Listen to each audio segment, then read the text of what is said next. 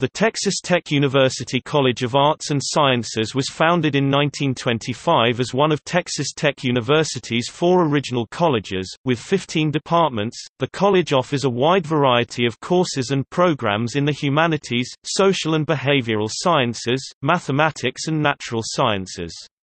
Students can choose from 41 bachelor's degree programs, 34 master's degrees and 14 doctoral programs.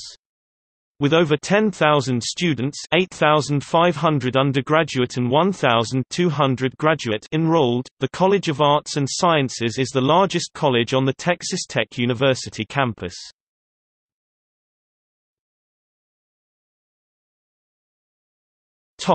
Academic departments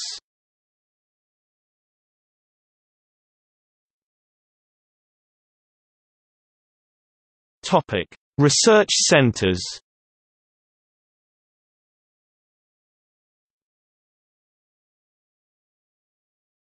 Topic: Notable people.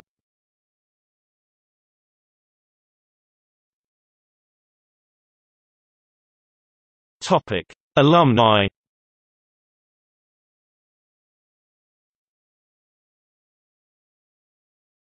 Topic: Faculty. Equals equals gallery